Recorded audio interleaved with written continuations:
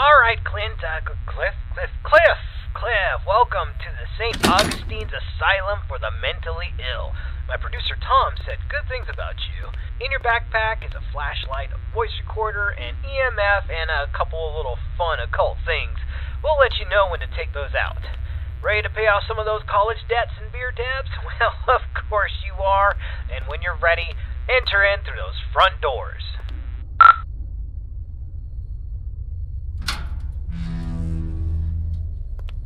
Nice, the door was unlocked. Ah, it can get a little sticky sometimes. So here's the story behind the St. Augustine's Asylum for the Mentally Ill.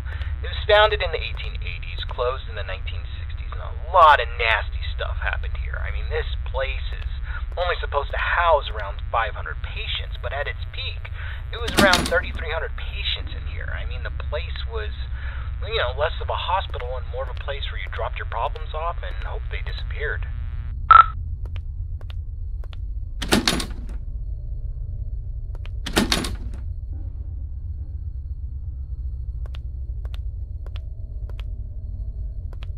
In the end, this place was sort of against what the Bible's supposed to teach. I mean, there was no love here, no grace, no healing. The patients were not here to be rehabilitated. Ordinary people just wanted them gone from public. They shoved those with non threatening mental conditions or those deemed inappropriate to society together with legitimate psychopaths and murderers and other violent monsters and basically said, let God sort it out. The atrocities in here are just too much to count. The death toll was unreal. The violence, nobody cared. And once you came to this place, you never left.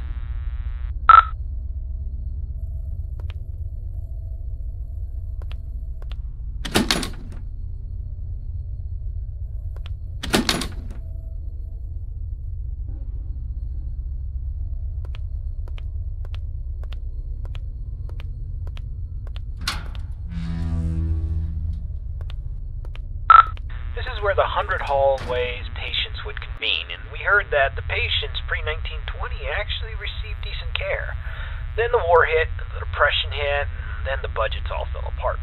The room you stand in once healed 20 patients in need of attention, and by the end, 150 patients would pass through this room, naked, starving, attacking each other at random, flaying themselves with metal wires from their beds. Be careful where you step.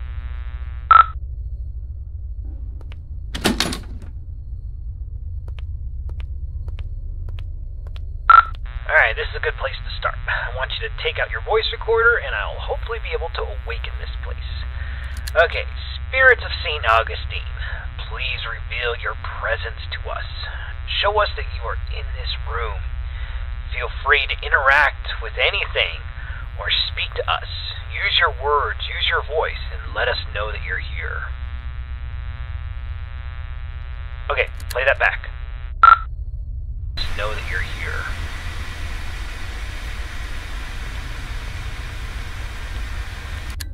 Uh, nothing. Alright, let's try that again. Alright, alright, let's try this. Ghosts of St. Augustine, please let us know that you are still in this hospital. I give you permission to reveal yourself. I give you permission to come to life. Just give us a sign that you're here. Tell us where you are. Speak to us now into this microphone. Alright, check that. Now into this microphone. Alright, let's try one more spot.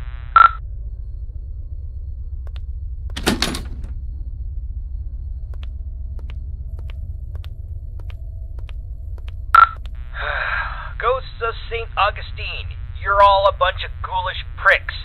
Show up or piss off!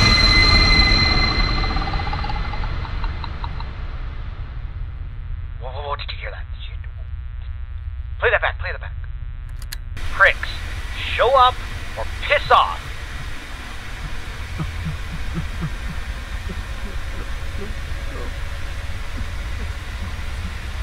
Oh, ho, ho, ho, ho, ho. All right, all right. We, looks like we got an investigation. All right, I want you to go down the morgue hallway, and we're going to continue our investigation in the other gathering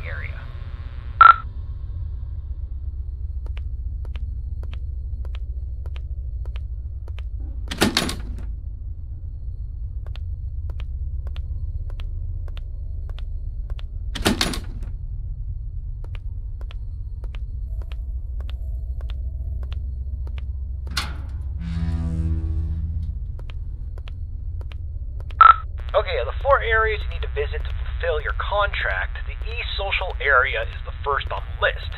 This is the area where the inmates who are deemed a danger to society would convene.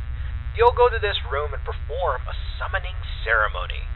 So walk into the center and we will begin.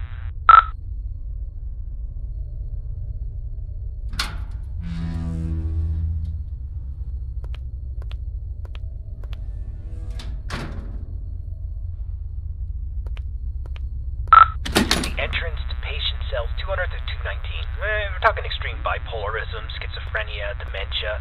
Not necessarily dangerous, but it could be a challenge for society. Dang, the door's locked. That sucks.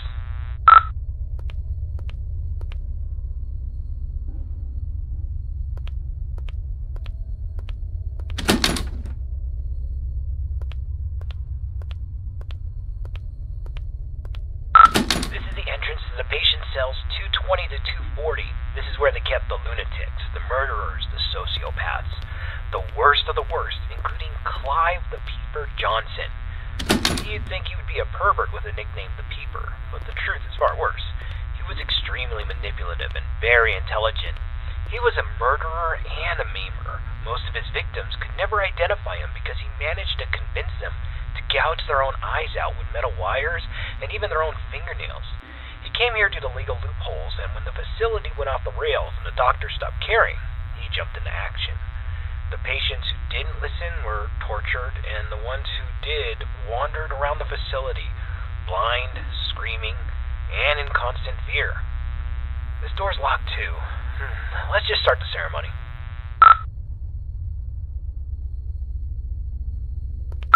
Spirits inside this asylum, we know that you're here. We release you from your restraints. Come forward and live again. This person is no longer shielded from the realm of the dead. You may be seen, interact, and manipulate him in any way as you see fit.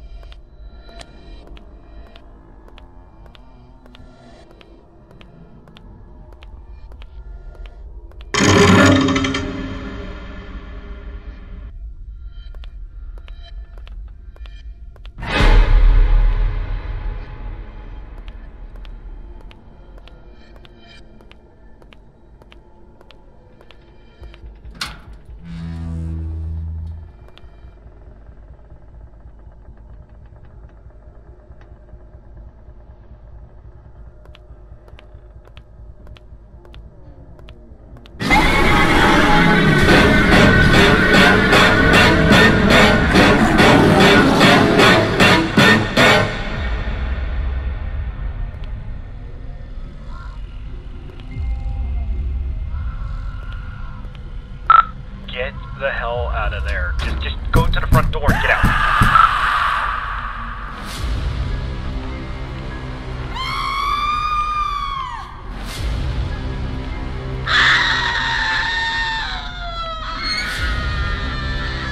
All right, get out of this hallway and then take a take your second right.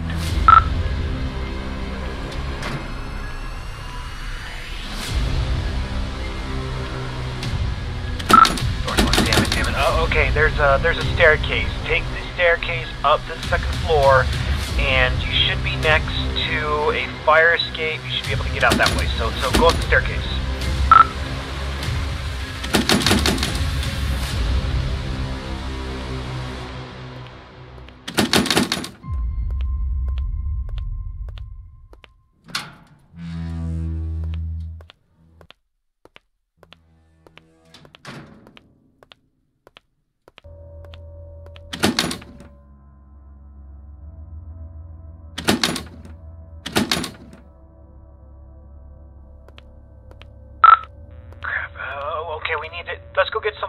Pry this door open. Go back downstairs. I, I bet you there was something downstairs we could probably use.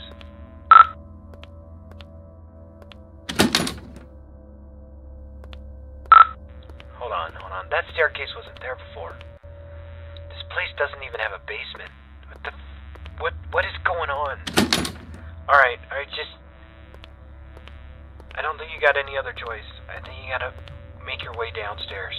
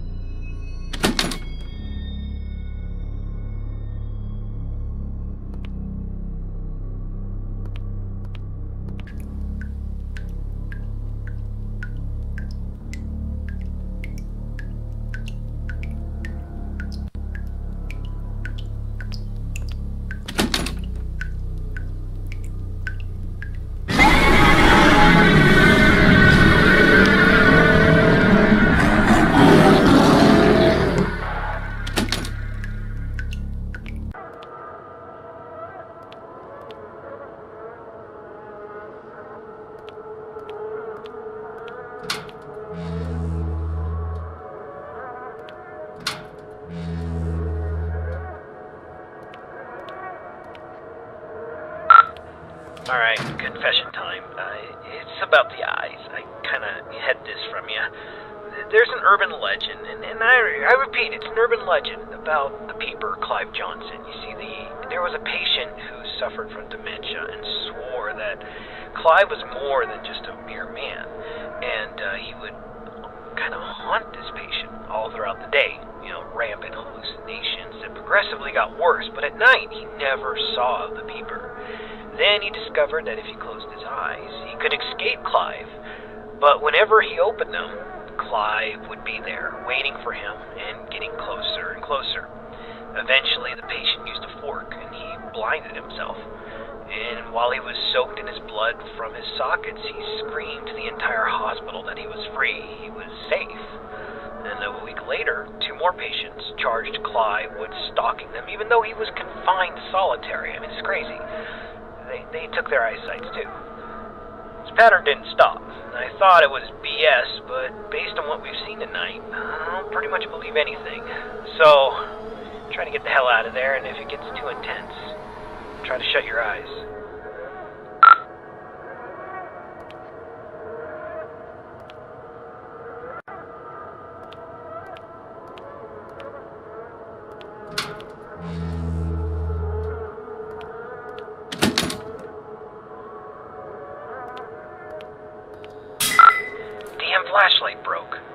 Can't use that anymore.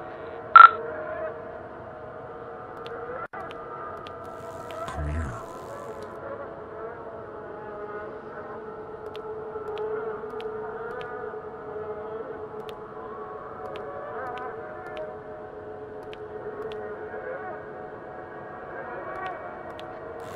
Come on closer. I see you now. Rapid fly, run!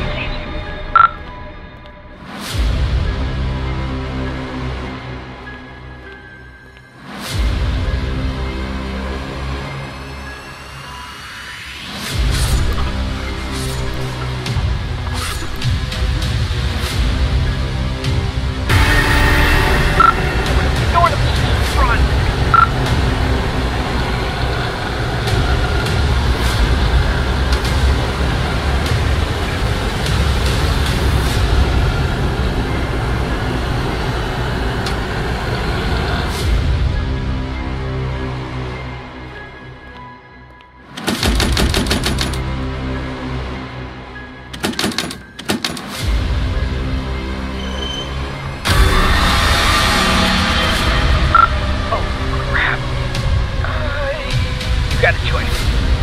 Either he gets you, or you're, you're gonna have to cut him out.